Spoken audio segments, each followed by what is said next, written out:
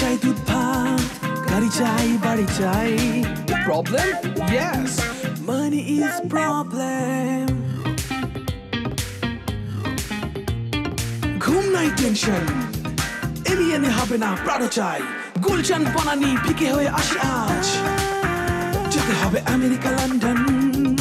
America London. আরও চাই মানি চাই ব্যাংক চাই বিমা চাই। ঘুম নাই ঘুম tension problem Oh yes, money is problem. Money is problem. তোমার নৌকায় ঘোরার শখ তো? এই শখটা আমি পূরণ করব। তুমি আমার সঙ্গে নৌকায় ঘুরবে ঠিক আছে? কি হয়েছে এখন? খুশি? ও হইছি। খুশি হইছি। তোমার যদি আরও কোনো অপূর্ণ ইচ্ছা থাকে তুমি সেটা আমাকে বলো আমি পূরণ করব। কালকে যখন আপনার লগে নৌকায় ঘুরো তখন কমু। আচ্ছা ঠিক আছে। এখন বলেন আপনারা কি খাবেন? স্যার আমি পোলাও মাংস খাব স্যার। গুড হাই হাই এটা আপনার পেট না কূপ কিছুক্ষণ আগে না নীল খেতে তৈরি খাইলেন? আরে কি কস তুই? ওটা কি তিয়ারি নাকি? তিয়ারির মধ্যে তো এক ফোঁটা মাংস পাইলাম না। আস্ত গরু জবাই দিয়া তেহারি বানাই দিলে আপনি কবেন মাংস খুঁজে পেতেছি না। ওকে ওকে ওকে। আপনারা বসেন আমি আপনাদের জন্য পোলা মাংসের ব্যবস্থা করছি। না না স্যার আমি খামু না। হেরে খাওয়ান আচ্ছা ঠিক আছে। আমি আপনার জন্যই পোলা মাংস রান্নার ব্যবস্থা করছি। তাহলে বসেন। স্যার। স্যার আপনি চুপ করেন। Sir sir sir. স্যার কালকে আমারে কখন ঘুরাইতে নিয়ে যাবেন কইলেন না যে? কালকে যে কোনো একটা সময়। এনে তোমাকে কোনো টেনশন করতে হবে না। আমার লোকজন সব কিছু ঠিক করে রাখবে। তুমি সময় মতো চলে এসো। আমিও ঠিক টাইমে পৌঁছে যাব। জি স্যার। আপনারা তাহলে বসেন। স্যার আপনি আমার অনেক উপকার করলেন স্যার। আপনি মানুষ না স্যার আপনি মানুষ না। হাইলা আপনি কি কোন? মানুষ না মানে? মানুষ অনেক বড় কলিজার মানুষ। অনেক বড় কইলজার মানুষ আপনি। আচ্ছা ঠিক আছে। আপনারা বসেন হ্যাঁ? আমার জন্য দোয়া করবেন। দোয়া করুন শোনো আমি চিন্তা করে দেখলাম প্রত্যেক পেশাতেই ঝুঁকি আছে। এই যে প্রথম দিন তুমি লেংরি ফকির সাজে গেছিলা তোমারে প্রায় কামের বুয়া বানায় ফেলছিল। হ্যার পরে বুড়ি সাজে গেলা পাইলে টাকার বস্তা। তারপরের দিন আবার টাকা পাও নাই। আবার যাও দেখবা ঠিকই টাকা পাইবা। শোনো আমি একটা নতুন প্ল্যান বের করছি অভ্যর্থ প্ল্যান তোমার মুখে একটু কালি সালি মাইখ্যা দুঃখিনী বানায় ফেলামু। তারপর তোমার কোলে দুইটা বাচ্চা দেবো বাচ্চা? বাচ্চা ভাড়া পাওয়া যায়। দুইটা বাচ্চা ভাড়া করুন। একটার বয়স তিন মাস আর একটার বয়স ওইটারও তিন মাস। মনে করো জমজ বাচ্চা। দুইটা বাচ্চা তোমার কোলে দেওয়ানোর আগে দুই ঘণ্টা ঠান্ডা পানির মধ্যে চুবামু যাতে নিমোনিয়া হয়। দুই বাচ্চা যখন নিমোনিয়া হইব তখন দুইটা বাচ্চা তোমার কোলে দিব এমনি করে যখন এগো শ্বাসকষ্ট হইব, তুমি আমার স্যার কইবা, স্যার দেখেন, দুইটা ফোলা দুইটারই নিমোনিয়া হয়েছে ওর বাপে ভাগছে আমারে থুয়া স্যার যে দয়ালু মানুষ, কাইন্দা তোমার বিশ লাখ টাকা খারার উপরে দেবো, গ্যারান্টি। তারপর বাচ্চা দুইটার হাসপাতালে নিমু, চিকিৎসা করামু, চিকিৎসা বাবদ পঞ্চাশ হাজার, লাভ হইল কত? উনিশ লাখ পঞ্চাশ হাজার। বক্কর, খবরদার। নতুন আমাকে কোনো প্ল্যানিং দিয়েছে তো? আমি সোজা স্যারের কাছে যাব, আর তোমার সব দুই নম্বরই ফাঁস করে দেবো। তোমার এইসব দুই নম্বরই কাজের সাথে আমি আর নাই। স্যারের কাছে আমার দুই নম্বরই ফাঁস করলে কি হইব? স্যার আমার জেলখানায় দিব। আমি জেলখানায় গেলে তোমার কি হইব? তুমি তো আসলে ফকির নিয়ে দেবা যদি আসল ফকির নিয়ে হও তখন দেখবা কতজনের লাঠি ধরে কেমনে টান মারে। তখন এটা তখন দেখা যাবে। দেখো গাঁদা গোলা ভাড়া করার দায়িত্ব আমার আগে সর্দি লাগানির দায়িত্ব আমার। রানী রানী রানী গো।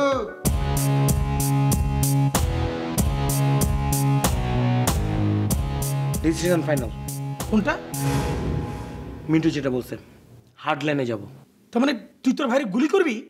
গুলি করে দিব কিনা জানি না তবে আমি তার মুখোমুখি হতে চাই। আর কতদিন আমি এভাবে বাইরে বাইরে থাকব? বান্টির মেসে পড়ে থাকব নাকি হ্যাঁ? আমার নিজের বাড়ি ঘর সয় সম্পত্তি টাকা পয়সা কোনো কিছু আমি ভোগ করব না? বান্টি বল। তুই কম্পিউটার কম্পোজ করতে জানিস? হুম পারি। তুই আমাদের ওই উকিল চাচার চেম্বারে যাবি। গিয়ে ফোন করে আমাকে ফোনে ধরিয়ে দিবি চাচাকে। আমি চাচাকে বলে দিব চাচা যেভাবে যেভাবে বলবে তুই স্ট্যাম্প পেপারে একটা ডেট কম্পোজ করে নিয়ে আসবি। ঠিক আছে। কিন্তু ডিটে তুই লিখবি কি? ডিটে লিখব এই টোটাল সম্পত্তি টাকা পয়সা সব কিছুর অর্ধেক অংশীদার আমি। আর সেটা যদি ভাই অস্বীকার করে দেন এই তুই কি করবি? তোর ভাই মেরে ফেলবি? জানে মারবো কিনা জানি না তবে গুলি করে পঙ্গু বানিয়ে বাসায় বসিয়ে রাখব। দোস্ত এক কাজ কর তুই একা যাস আমরা সবাই তোর সাথে যাব। শোডাউনটা দেখলে এমনিতেই সব ঠান্ডা হয়ে যাবে। গুলি করা পঙ্গু করা এগুলো কিছুই লাগবে না। নাইস আইডিয়া চল এই রুবেল!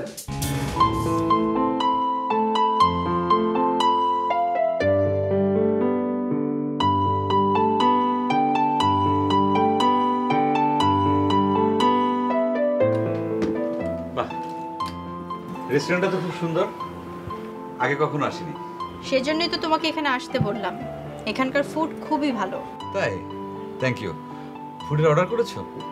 না। তোমার কি খুব তাড়া আছে? একটা খুব জরুরি কাজ আছে। একটা না দুইটা জরুরি কাজ আছে। ও আচ্ছা। নিশ্চয়ই গরিব দুঃখীদের সাহায্য করতে যাবে? হ্যাঁ একটা ওই রকমই আর একটা কাজ আছে। আরেকটা কি সেটা বলা যাবে না? হ্যাঁ বলা যাবে না কেন? আমি একজনের সঙ্গে একটু দেখা করতে যাব। তার সঙ্গে দেখা করতে গেলে তার একটু উপকার হবে। ও তোমার সেই ভিখিরিনি না তো? আচ্ছা সুজানা ওই প্রসঙ্গটা বাদ দাও তো। আমরা আমাদেরকে নিয়ে কথা বলি। কি কথা বলব বলো? ওই যে তোমাকে বলেছিলাম না একটা প্ল্যানিং এর কথা যে সোহেলকে বাসা থেকে বের করে দেব। হুম দিয়েছ বের করে? না আমাকে বের করে দিতে হয়নি ও নিজেই বাসা থেকে চলে গেছে। তাই নাকি কখন? কাল রাতেই চলে গেছে। তাও কোথায় গেছে কোনো খোঁজ খবর নাওনি? না খোঁজ নেব কেন? কয়েকটা দিন বাইরে থাকুক না তাহলেই বুঝতে পারবে টাকার গরম কাহাকে বলে আর গরিব অসহায় মানুষের দুঃখ কাহাকে বলে। ভালো খুব ভালো। এখন বলো তো আমাকে নিয়ে তোমার চিন্তা ভাবনা কি? তোমাকে নিয়ে আবার কি চিন্তা করব? তোমার তো সবকিছু ঠিকঠাকই আছে। তাহলে কাকে নিয়ে তোমার চিন্তা? কেন? গরিব মানুষ দুঃখী মানুষ অসহায় মানুষ। গ্রেট বাবা আমাকে বিয়ে দিতে চায়। বিয়ে দিতে চাই বিয়ে করবে? বিয়ে কি উড়ে যাচ্ছে নাকি? হ্যাঁ বিয়ে উড়ে যাচ্ছে সেটাকে ধরতে হবে। কবে কখন বলো? দেখো সুজানা আমি একটা প্রজেক্টে হাত দিয়েছি। এই প্রজেক্টটা একটু গুছিয়ে নেই তারপর?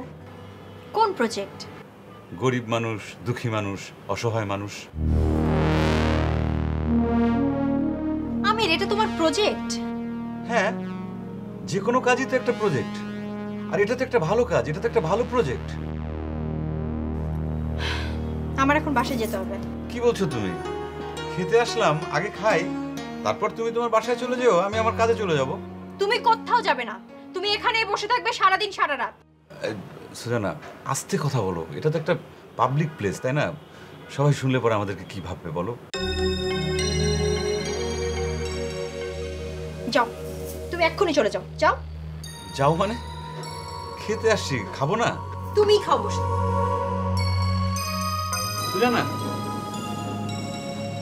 এই। Kum nai, kum nai tension. Problem? Oh yes, money is problem. Money is problem. Sir আসসালামু আলাইকুম। ওয়ালাইকুম সালাম। কি বাসু? এই অসময়ে আমার বাসায় কে? স্যার আমার কিছু টাকা লাগবে। আরে আমি কি ব্যাংকের ভূত না টাকার মেশিন? তুমি না কয়দিন আগে বেতন পেলে? স্যার বেতনের কয় টাকা পাই আমার তো অনেক টাকা লাগবে।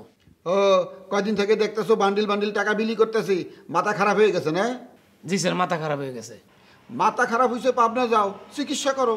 আরে বাবারে এই যে দুই হাতে কোটি কোটি টাকা বিলি করতেছি একটা পাঁচশো টাকার নোট পকেটে ঢুকাইছি কও?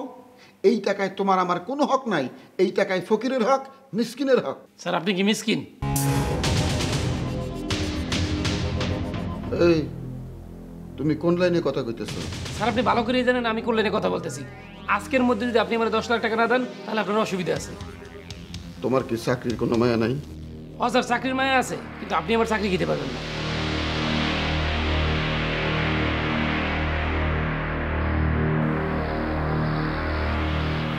বাসু তোর আমি দুই লাখ টাকা দেবো বাবা। ঠিক আছে আপনি তাহলে আমার পাঁচ লাখ টাকা দেন। বাবা আর মুলামুলি করিস না। শোন তুই চিন্তা করে দেখ আমার পোস্ট কই? তোর পোস্ট কই? আমি যদি দশ টাকা বেতন পাই তুই পাস কত? দশ পয়সা? তাহলে সেই অনুপাতে তুই কত পাস? দুই লাখের বেশি না বাবা। আচ্ছা তাহলে আপনার কথাও থাকুক আমার কথা থাকুক। আপনি আমার সাড়ে চার লাখ টাকা দিন। বাবা আচ্ছা দা আচ্ছা দা আড়াই লাখ আড়াই লাখ। আর মুলামুলি করিস না আর মুলামুলি করিস না। রানী এই যে চা বিস্কুট দাও আমার ভাই বাচ্চা হয়েছে ব আমি টাকা নিয়ে দিছি।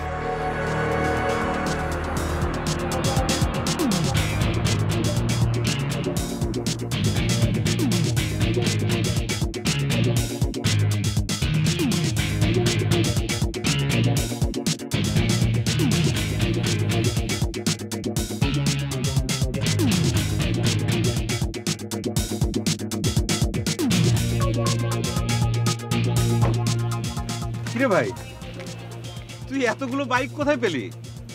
এরা সবাই কি তোর বাইকের ফ্রেন্ড হ্যাঁ এরা আমার বাইকের ফ্রেন্ড এদের প্রত্যেকের বাইক আছে সাথে একটা করে গাড়িও আছে। এরা কেউ আমার মতো ফকির না। তুই কি বলছিস ভাই? তুই কেন ফকির হবি? আমাদের আব্বা আমাদের জন্য হাজার হাজার কোটি টাকার ব্যাংক ব্যালেন্স রেখে গেছে। এই বাইকগুলো কি তোর পছন্দ হয়েছে? কত? এগুলোর দাম কত? আমি তোকে একটা নতুন বাইক কিনে দেবো। আরে রাখো তোমার বাইক। এই ডিট সাইন করো। এটা কিসের ডিট আমাদের বাবা আমাদের জন্য যে জায়গা জমি টাকা পয়সা সব রেখে গিয়েছে তার সমান ভাগে ভাগ করার ডেট সাইন ইট এটা তুই কি বললি ভাই? আমাদের বাবা নেই মা নেই। আমরা এতিম দুইটা ভাই। তুই সবকিছু ভাগাভাগি করে আলাদা করে দিবি? হ্যাঁ ভাগ করব। কারণ তুমি যা করছ আমার বাবার টাকা পয়সা সবাইকে বিলিয়ে দিচ্ছ দুদিন পরে আমাকে রাস্তায় নেমে ভিক্ষা করতে হবে। দূর বোকা। তুই ভিক্ষা করবি কেন? তোর নামটা কি বলতো? তুমি আমার নাম জানো না? আমি জানি তুই নিজের মুখে তোর নামটা বল। সোহেল খান। তোর আব্বার নাম? হামজাদ খান। তোর দাদার নাম? সোরাব খান। তোর দাদার বাবার নাম? জানি না কেন? তার মানে কি? তুই তোর বাবা আর তোর দাদা। এই হলো তিন পুরুষ। এর বাইরে আর তুই কাউকে চিনিস না। তুই বিয়ে করার পর তোর ছেলে তার ছেলে। মানে তোর নাতি পর্যন্ত তোর নামটা জানবে। তোর নাতির ছেলে কিন্তু তোর নাম জানবে না। তোর দাদার বাবার প্রতি যেমন তোর কোনো ফিলিংস নেই ঠিক তেমনি তোর নাতির ছেলেরও তোর প্রতি কোনো ফিলিংস থাকবে না। তুমি কি বলতে চাইছো ঠিক করে বলো আমি কিছুই বুঝতে পারছি না। তার মানে আসল সত্যটা হচ্ছে তিন পুরুষ ধরলাম আরেক পুরুষ। চার পুরুষের পর সবাই ভূত। তারা কেউ তোকে চিনবে না তুইও তাদের কাউকে চিনবি না। তার মানে হচ্ছে ভূতকে টাকা খাইয়ে কোনো লাভ আছে?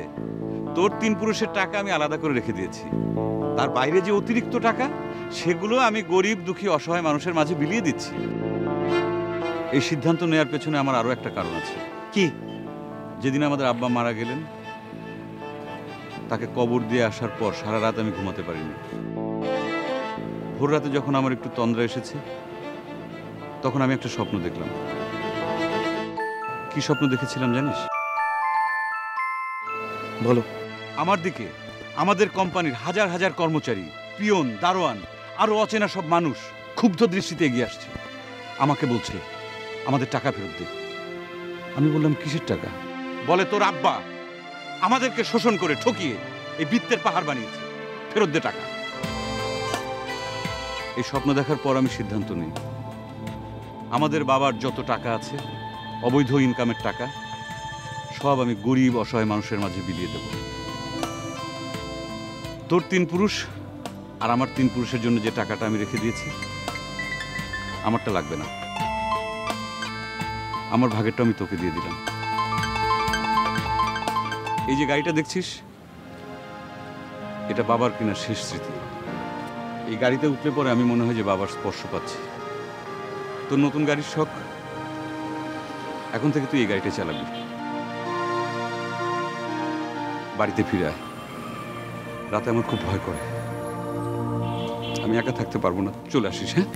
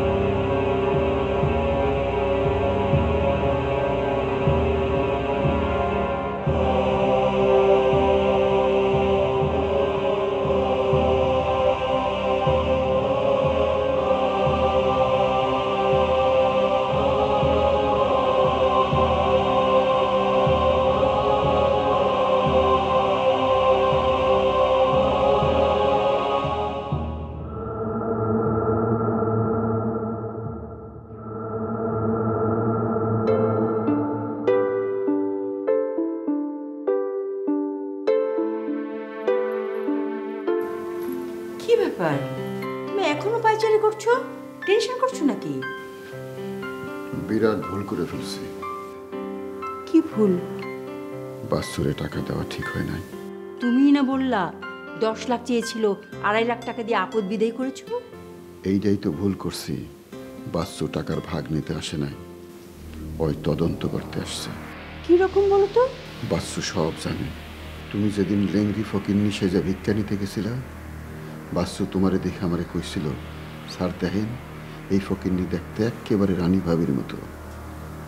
ওর চক্ষের মধ্যে সেদিন সন্দেহের খেলা দেখছিলাম। আজকা মিলাইলাম জানলে জানুক তুমি তো তাকে টাকার ভাগ দিয়েছই। আমি তোমারে কি কইতেছি? ওই টাকার ভাগ নিতে আসে নাই ওই প্রমাণ করতে আসছে আমার কাছে চুরির টাকা আছে। প্রমাণ করেও কি করবে? অনেক কিছু করব। মনে রাখবা পচা শামুকে পা কাটে। বাসু একটা পচা শামুক হয় আমার গলা কাটবো।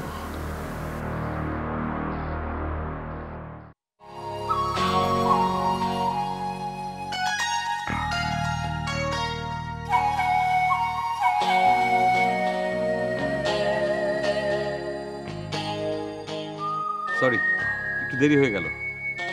জায়গাটা কেমন লাগছে? ভালো লাগছে তো? শোনো, এখান থেকে গিয়ে তুমি তোমার বাবার পছন্দের ছেলেটাকে বিয়ে করে ফেলবে, ঠিক আছে? কি ব্যাপার? তুমি বারবার মাথানের উত্তর দিচ্ছ কেন? এরকম নৌকায় বেড়াতে এসে মাথায় ঘুমটা দিয়ে থাকলে চলবে? ঘুমটা খোলো। চারদিকে তাকিয়ে দেখো, কি চমৎকার খোলা আকাশ, স্বচ্ছ নদীর পানি, গাছপালা। এই, ঘুমটা খোলো তো। তুমি? জি আমি। তুমি এখানে কীভাবে এলে? এখানে তো সুফিয়ার আসার কথা। কারণ আমি সুফিয়া আমি সুজানা। কেন? দুটি কারণে। প্রথম কারণ তুমি যা করছ তাতে আমার সমর্থন আছে। আর দ্বিতীয় কারণ তুমি যেভাবে কাজটা করছ তাতে আমার সমর্থন নেই। তাতে কিছু ভুল আছে যেটা আমি তোমাকে ধরিয়ে দিতে চাই। যেমন?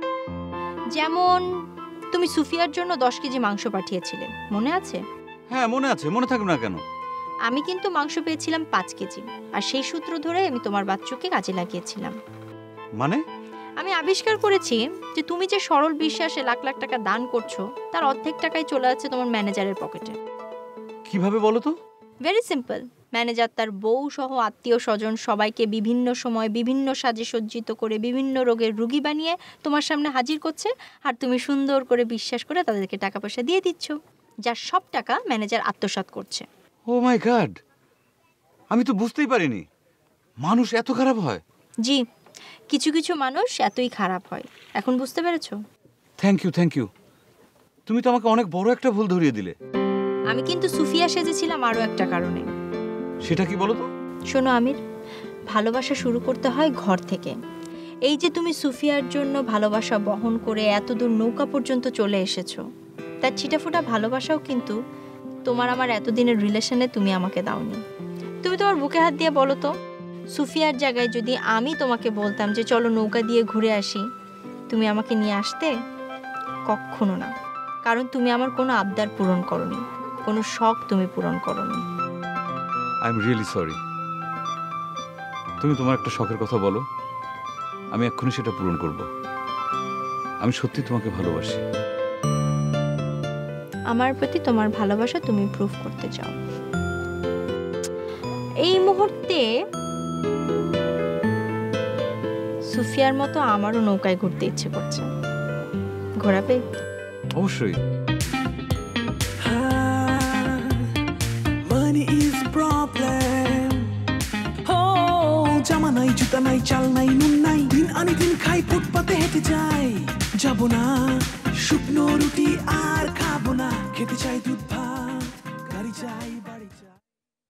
Never miss another update.